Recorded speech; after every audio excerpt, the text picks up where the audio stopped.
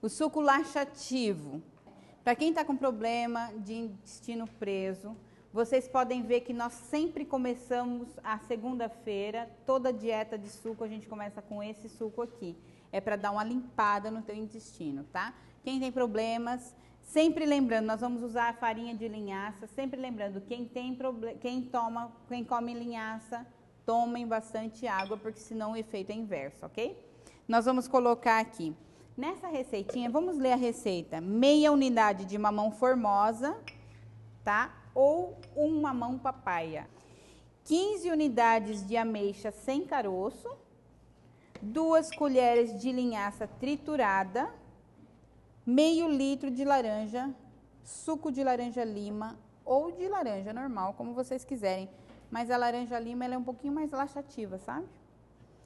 Há controvérsias, mas nós na prática aqui nós percebemos que a, a, o suco de laranja lima ele é um pouco mais laxativo que o outro. Então nós vamos bater tudo isso no liquidificador e esse suco é uma delícia, pelo menos eu adoro, é o suco que eu mais gosto. Vamos bater lá. Uma mão. Ameixa.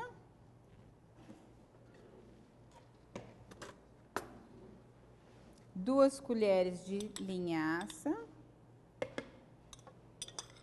duas colheres de linhaça, pode ser muito cheio, como pode não ser, e meio litro,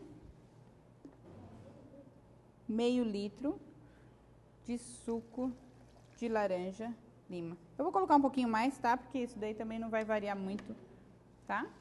Nós vamos bater no liquidificador e esse daqui não coa de jeito nenhum.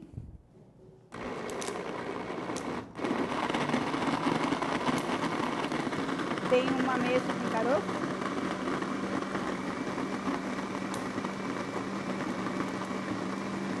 Sempre acontece.